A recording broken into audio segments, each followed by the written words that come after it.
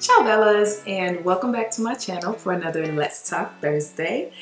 It's Christmas! Oh my gosh! When y'all see this, Christmas will be tomorrow. And oh my gosh, I'm so excited. Like I love Christmas. I just love Christmas time and all the stuff that goes into Christmas except for the commercialized, you know, whatnots of Christmas. Don't care for that part, but I love Christmas. And Christmas time just always, Christmas makes me think of the year is gone. Like 2015 is essentially gone. Like in one week, we will be in a brand new year. And that has all kinds of excitement in itself.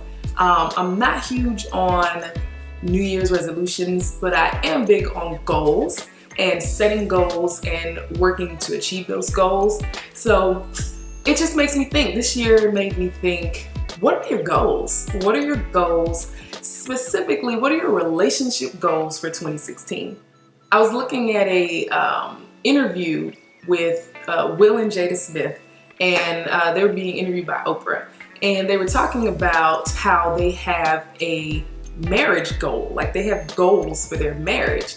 And it really made me just think about the things that they were saying and the points they were making that we set goals for other things. We set goals for careers, financial goals, all these goals. But when you talk about a marriage, something that's for a lifetime, like why do we not set goals for that? Why is it not important to set goals for that? Well, I think it is. And so I'm interested to know what your guys' goals are for your relationships in 2016. And not just your romantic relationships, but the relationship you have with yourself. You know, y'all hear me talk about this all the time, how important it is to have a healthy relationship with yourself before you can try to get into a relationship with anybody else. And then of course your romantic relationships, um, if you're in one, if you're not in one, if you have a goal for when you get in one.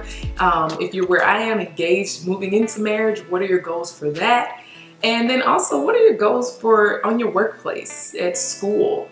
The people that you interact with on a daily basis. Um, I think we should strive to make sure that those relationships are healthy and do everything that we can on our side because that's all we can control uh, to make those relationships awesome. So that's my little two cents for this week's Let's Talk Thursdays. Just focus on making your relationships in 2016 amazing. We can do it. We really can. I love you guys and love on somebody this week. Love y'all.